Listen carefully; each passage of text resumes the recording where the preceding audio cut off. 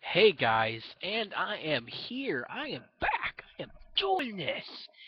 Okay, let's not get too insane here, but I just wanted to let you guys know that things have been going completely rough in my life. I know I tried to get on the wagon, off the wagon, on the wagon.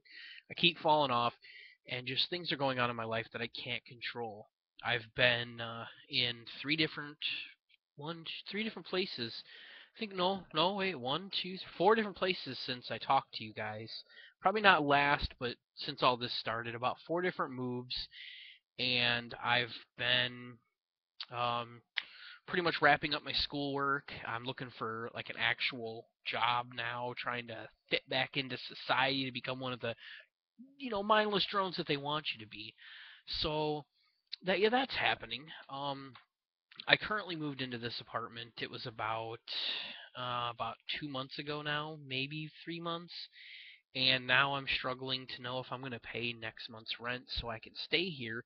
Uh, just having a hard time. I know I've I've fallen off the wagon. I'm trying to lose weight, and I've been saying that since like 2010. I think now it's been like three years since we started that Shay loss. It might have been more. I don't know.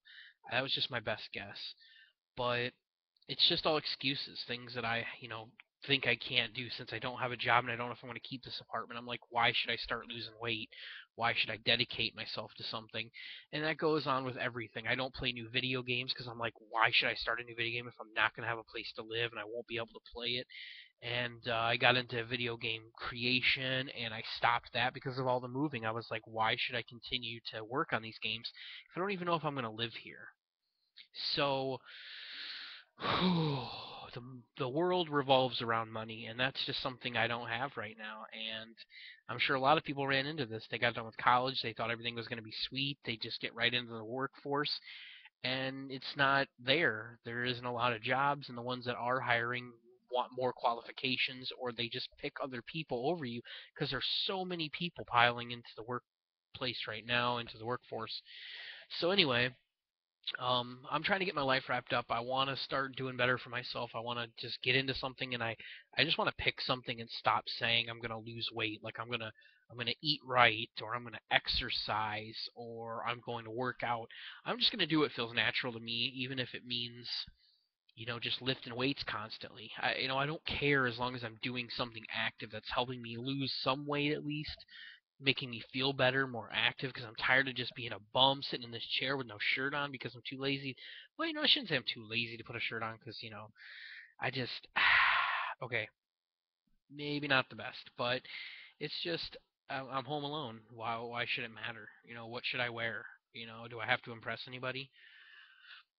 Okay, I'm rambling now. I'm rambling, but you guys know this is what I do, and I want to get back on it. I'm, I'm still here. I'm still doing stuff. I'm still breathing, I should say, but I want to start doing stuff again, and I just have to stop making excuses and start doing things regardless of what happens to me. I just hope that I make it through this so I can continue with this positive attitude that I have now. Urgh. Oh, and by the way, I just got to look up something here. Oh, yeah. Thank you for watching NSA. We love you. And goodbye.